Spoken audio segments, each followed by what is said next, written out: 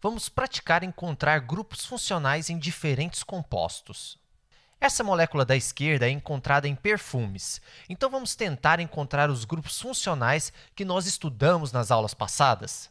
Bem, aqui nós temos um carbono ligado a outro carbono através de uma ligação dupla. E nós sabemos que carbono ligado a carbono através de uma dupla ligação é o que nós chamamos de alcenos.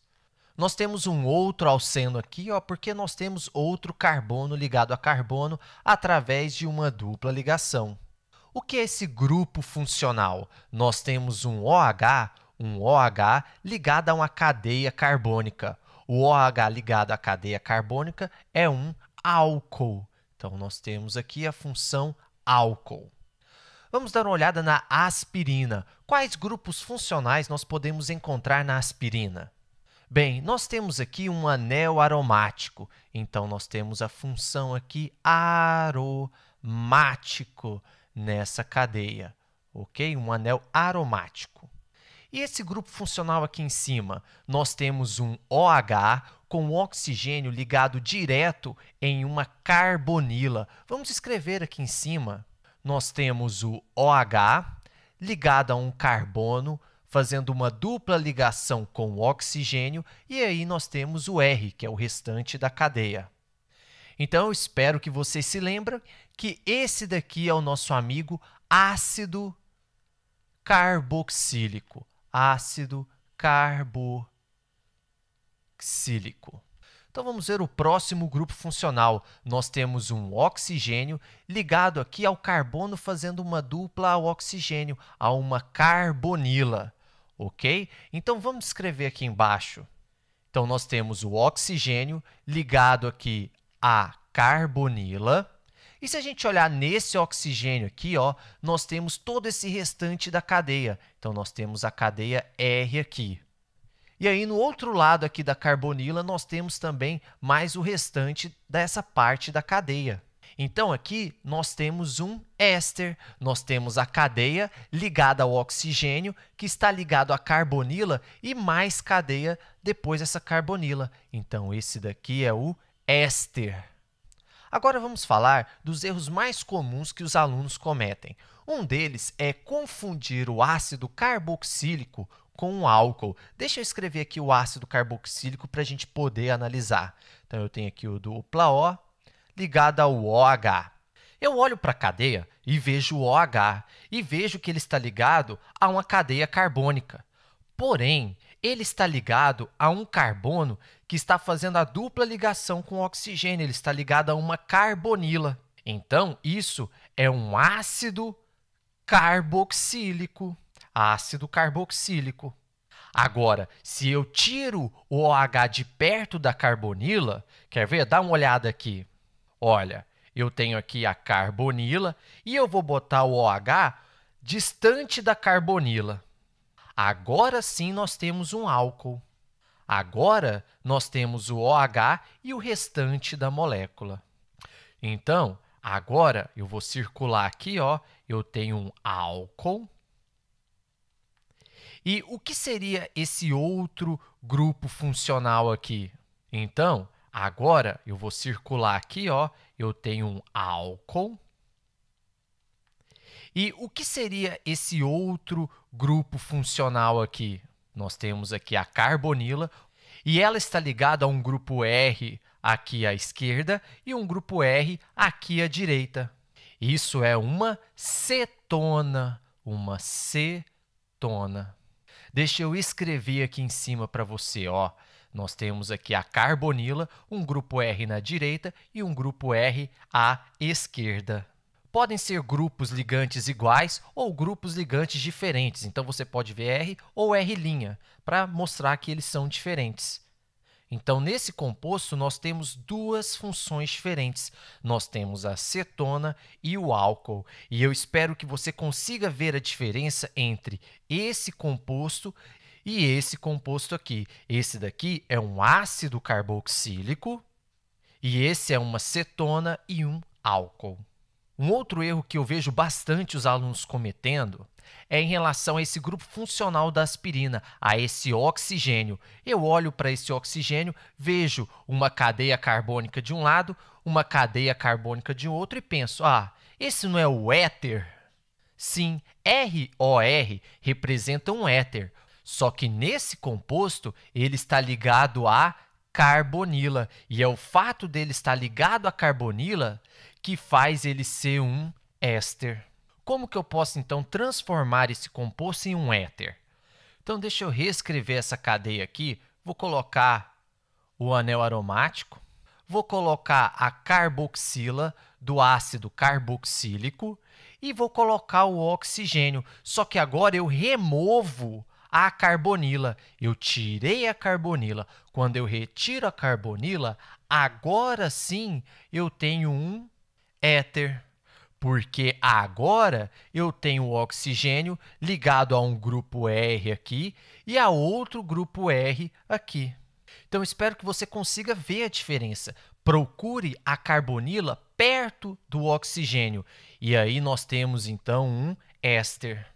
Outro erro que os alunos cometem bastante é misturar alguns grupos funcionais. Então vamos dar uma olhada aqui ó, nessas duas moléculas. Na esquerda, nós temos o benzaldeído. Então nós já estamos falando aqui da função aldeído. Nós temos o anel aromático, né? E a carbonila ligada diretamente a um hidrogênio. Então, nós temos um grupo R ligado à carbonila e um hidrogênio ligado direto nesse carbono da carbonila.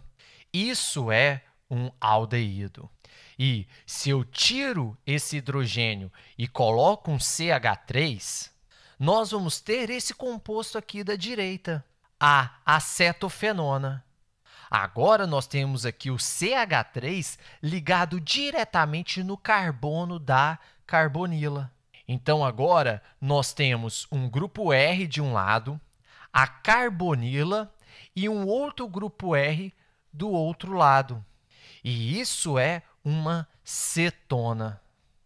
E a gente pode ver pela terminação do nome aqui que nós temos a função cetona nessa molécula. De novo, essa é uma diferença sutil, mas é muito importante e muitos alunos acabam misturando esses conceitos. O aldeído tem o hidrogênio ligado diretamente na carbonila. Agora, se não tem hidrogênio, nós estamos falando da cetona. Então, RCOOR, nós estamos falando de cetona. Agora, vamos dar uma olhada num composto gigante com um monte de funções orgânicas para a gente achar.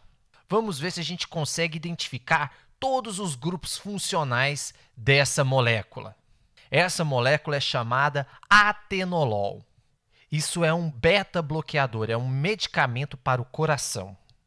Vamos procurar alguns grupos funcionais que nós já vimos antes. Aqui nós temos o anel aromático da função aromática, então, nós sabemos que a função aromática está aqui presente no atenolol. E nós temos aqui o oxigênio com um grupo R de um lado desse oxigênio e com outro grupo R do outro lado desse oxigênio. Então, nós temos aqui um R, O, R. E nós sabemos que isso é um éter, então nós temos um éter aqui no atenolol. Logo aqui, nós temos um OH ligado ao restante da cadeia. Então, nós temos ROH. Isso é um álcool. Álcool. Nós temos aqui o nitrogênio com um par de elétrons livres ligado ao grupo R de um lado e a outro grupo R do outro lado. Essa é então a amina. Então, nós temos aqui o grupo amina nesse composto. E finalmente nós temos um grupo aqui na esquerda, e esse grupo nós confundimos bastante. Nós temos aqui o nitrogênio com esse par de elétrons livres. Então é tentador a gente achar que isso daqui é uma amina. Porém, esse nitrogênio está ligado diretamente à carbonila. Então isso não é uma amina é uma amida. Então, isso é uma amida, certo? Não é uma amina. Então, vamos falar um pouco mais da diferença entre a amida e a amina. Deixa eu desenhar um outro composto aqui, onde nós temos o nosso NH2, e nesse composto nós temos o nosso nitrogênio ligado diretamente ao carbono da carbonila. E é isso que diz que esse composto é uma amida. E como nós temos esses pares de elétrons livres, esse par de elétron pode vir para cá, essa dupla pode vir para cá, e nessa amida é possível que haja a ressonância. Então, isso é uma amida. Agora, se nós movemos esse nitrogênio para longe da carbonila, vamos escrever aqui, ó, eu tenho a carbonila, só que agora o nosso nitrogênio está distante da carbonila, agora não é possível mais ter ressonância. Esse par de elétrons não consegue sair aqui do nitrogênio. Então, agora sim, nós temos uma amina. Então, isso daqui é uma amina. Deixa eu mudar de cor, colocar em azul. Isso daqui é a amina. E o que, que esse grupo aqui é? Olha, nós temos a carbonila, do lado esquerdo nós temos um grupo R, do lado direito nós temos um outro grupo R. Então, isso é uma cetona. Então, aqui nós temos uma cetona e uma amina, e aqui uma amida. Então tome cuidado para você não confundir esses grupos funcionais. Eu já vi um monte de bons alunos confundindo esses grupos e nós não podemos, ok?